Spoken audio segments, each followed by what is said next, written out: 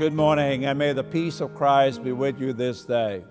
On this Holy Thursday, after the celebration of the Eucharist, Jesus washed the feet of his disciples, and he wanted to teach them a lesson in humility. That is, if they were going to carry out his mission, they had to do it in humility, not out of selfishness, not out of ego or self interest.